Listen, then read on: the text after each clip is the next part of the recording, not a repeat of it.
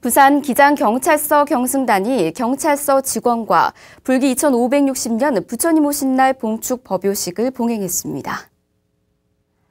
기장경찰서 경승단은 어제 경승실장 장한사 주지 정호수님, 정남권 기장경찰서장 등 4부대 중 200여 명이 동참한 가운데 봉축 법요식을 열고 시민 안전을 함께 기원했습니다. 정호수님은 부처님 자비 속에 지혜가 충만해지길 기원하고 시민과 국민 안전을 위해 노력하는 경찰 직원의 행복을 축원했습니다.